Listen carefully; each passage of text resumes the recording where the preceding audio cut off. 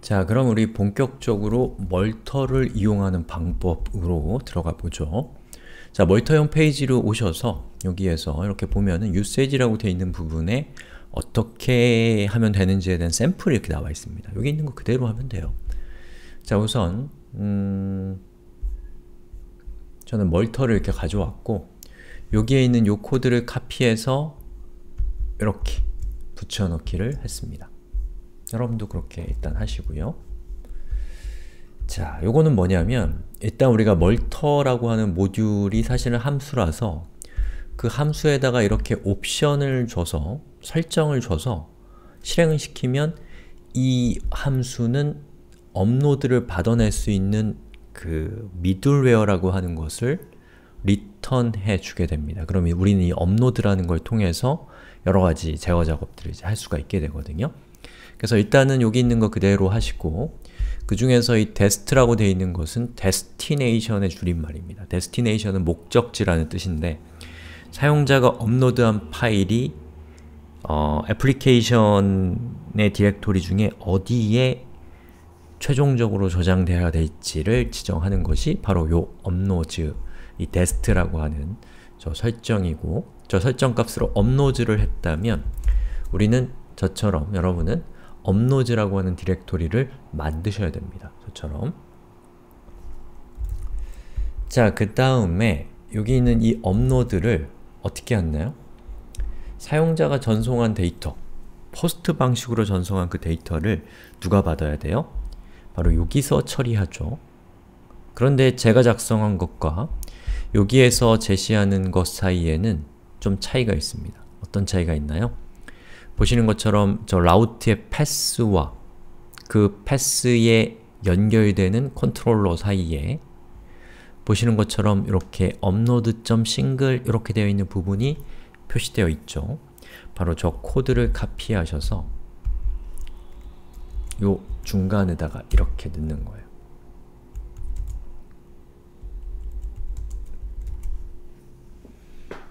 자, 그러면 요건 이제 어떤 뜻이 되는 거냐면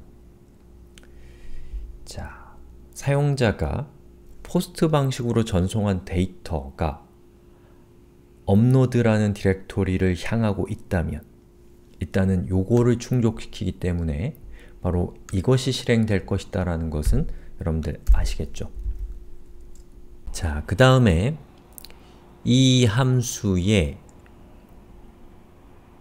두 번째 인자로 이렇게 어, 멀터를 통해서 만든 모듈을 미들웨어라는 것을 이렇게 갖다 놓게 되면 이 미들웨어가 도대체 구체적으로 문법이 무엇인지 우리 아직 모르지만 저 미들웨어가 이 뒤에 있는 이 펑션이 실행되기 전에 얘가 먼저 실행이 됩니다. 얘가 먼저 실행이 돼요. 그리고 얘가 하는 역할은 사용자가 전송한 데이터에서 만약에 파일이 포함이 되어 있다면 그 파일을 가공해서 어, request 객체의 파일이라는 property를 암시적으로 추가하도록 약속되어 있는 그런 함수예요. 정확하게는 middleware입니다. 그리고 나서 여기 있는 이 function이 실행이 될 거 아니에요? 그때 request 객체 안에 파일이라는 property가 포함되어 있다라는 얘기예요. 정말 그런지 한번 살펴볼까요? 자, 여기 있는 request를 카피해서 제가 이 뒤에다가 더하기 request 파일이라고 이렇게 하고 한번 해보겠습니다. 자, 파일을 선택했고요. 제출 버튼을 눌렀을 때 보시는 것처럼 에러가 뜨거든요. 자, 이 에러가 뜨는 이유는 unexpected field라고 되어 있는데 그 이유는 바로 이것 때문이에요. 아바타라고 되어 있는 요것 때문입니다. 자, 우리가 만든 폼을 한번 보죠. 자, 이 폼에서 페이지 소스 보기를 하게 되면 우리가 사용자로부터 파일을 받을 때 사용하는 파일을 선택하는 폼이 저건데 저것의 네임 값이 유저 파일로 되어 있단 말이에요. 그럼 저기 있는 저 유저 파일이 여기 있는 싱글에 저 인자로 들어와야 되는 겁니다. 만약에 여기가 아바타라면 얘도 아바타, 여기가 유저 파일이면 얘도 유저 파일이어야 되는 거예요. 자, 그리고 다시 한번 실행을 해볼게요. 제출 버튼을 눌렀을 때 보시는 것처럼 object가 이렇게 떴습니다. 그 얘기는 업로드 이게 화면에 출력된 것이고 동시에 request 객체의 파일이라는 property가 객체다라는 것을 보여주는데 그 안에 구체적으로 어떤 정보가 있는지는 아직은 살펴보지 않았지만 어쨌든 request라는 객체의 파일이라고 하는 property가 생성되었다라는 것은 우리가 확인할 수가 있었네요. 자 그럼 그게 어떻게 된 거냐면 보시는 것처럼 자 여기 있는 요 middleware라고 하는 것이 이 함수가 실행되기 전에 먼저 실행이 돼서 이 함수가 받을 request 객체의 파일이라는 property에 사용자가 전송한 파일에 대한 정보를 넣어준 거예요. 그래서 어, 우리는 이 파일이라고 하는 저 property를 통해서 사용자가 전송한 파일에 대한 여러 가지 정보를 알아낼 수가 있습니다. 자 그럼 제가 여기 있는 이 파일을 이렇게 카피해서 console log로 저 파일의 내용을 한번 화면에 찍어 볼게요. 자, 제출 버튼 눌러 볼게요. 제출을 했을 때 우리의 콘솔에 이렇게 생긴 내용이 나오네요.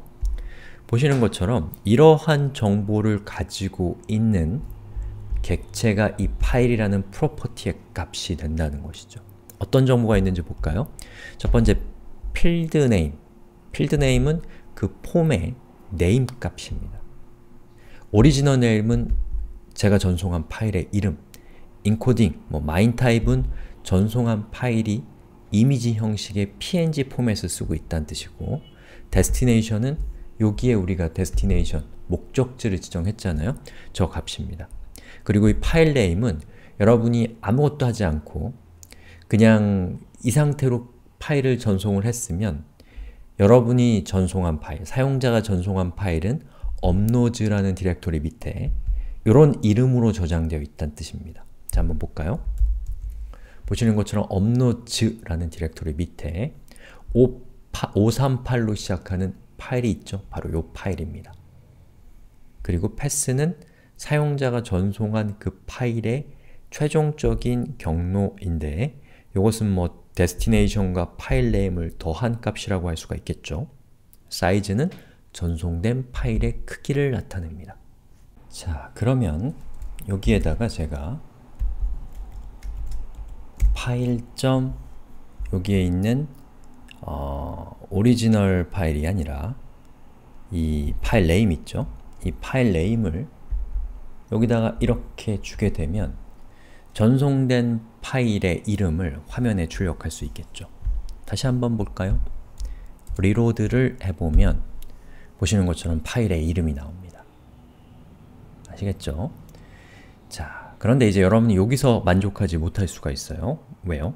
사용자가 전송한 파일의 이름 그대로 저장하고 싶은 걸 이라는 생각을 하실 수도 있고 어, 여러 가지 생각들이 이제 막 떠오르실 타이밍입니다. 그래서 우리 다음 시간에는 이 기본적으로 멀터가 주는 기본 기능을 조금 더 확장해서 조금 더 복잡한 상황들에 대응하는 방법들에 대해서 조금만 더 살펴보겠습니다.